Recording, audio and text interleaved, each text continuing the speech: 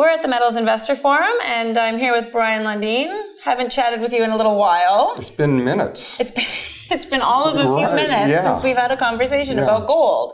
So why don't we talk about gold? Let's do that. What do you think of? Uh, I think we share a bit of a perspective here, on at least in the near term, for what's going on with gold. Yeah, I think so. I think, you know, as we speak right now, gold's had a sell off, a pretty severe sell off. It's gone through some key technical levels, the 50 day moving average, 200 day moving average, in kind of a decline that was predicted by the uh, non performance of the equities for some time. And silver as well wasn't validating gold remaining somewhat elevated. And what seemed to trigger it were a couple of things. There was some we- economic weakness in China. There was the Federal Reserve coming out of their meeting with a hawkish statement. So we're kind of seeing, I think, that same pattern where we're, uh, gold's being sold off going into what people perceive will be another Fed rate hike. Absolutely. And it matches up with gold's regular seasonal patterns, anyways. When we Right. have early season runs, sort of one before PDAC, one after PDAC, and then we go into summer. Midsummer kind of a it's May, doldrums, it's yeah. time for that to start. And yeah, the Fed comes out with its another uh, rah rah statement, which Yeah. is sort of modus operandi for, for the Fed and for the government right now. Yeah. Um, I think, broadly speaking, I certainly believe that real rates are in a low, zero, negative environment Right. going out because interest rates, I, if interest rates are going to rise, that's because there's growth and therefore inflation. If Right. there's not growth and inflation, then interest rates aren't going to rise. and gold benefits in either big picture scenario. You know, looking at the short term though, the one thing that I see that may forestall that, that decline into the midsummer is the fact that we've seen gold rebound with every Fed rate hike. So when they raise in, uh, in June, if they do in fact do that, we could have an early bounce in, in gold and not have it, you know, go down into mid-July like it typically does. Yeah, I certainly agree with that. So that mid-June meeting is Yeah. going to be a pretty interesting one. Uh, the reaction to gold at rate hikes has been fairly dramatic the last three Right. hikes. We've seen big moves in gold, hundred dollar moves Yeah. in gold in the week or two following following rate hikes. So that would be an interesting addition to the summer.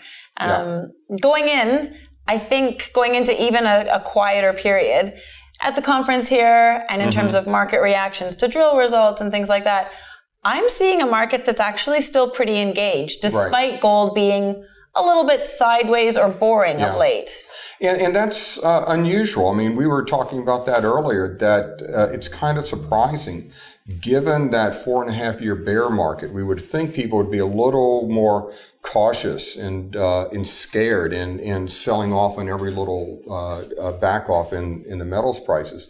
But is, if you look outside in uh, these companies, everybody's talking, everybody's looking to deploy money, put it in the ground, and uh, and that's an, that's kind of surprising. I think part of it is because they're funded. You know, they weren't funded for four years or so, and they couldn't do anything. So there's that discovery mode going. I totally agree. So I think that if you go back, like companies are, the sector is so much healthier than it was Right. 18 months ago that there's just the possibility for for possibility. Companies have money. They can drill. It takes drilling to make discovery. Discoveries are getting rewarded in the market. Mm-hmm. And I think we were talking before, the cyclicality of gold is so well defined Right. that it it would take a bigger setback than we've had in the gold price ascent before Yeah. people lose confidence in this being a new cycle, right? Right, right. Yeah. And, and and coming off of a bear market like we did, then the uh, gold has historically, and every and you would think it would have a longer, more sustained, more powerful up move. And as we were talking uh, about the the near term scenarios for gold economically, the long term, virtually whatever happens, it'll benefit gold.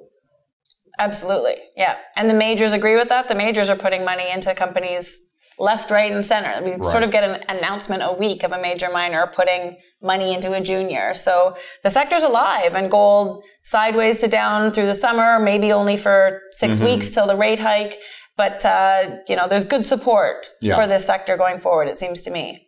I would agree, and that energizes the junior market too. When the majors are moving and they're excited, there's always a possibility of not only majors investing in the juniors, but taking them out. Doing more. Yeah, Yeah. exactly. Thanks for having the chat. Wonderful as always.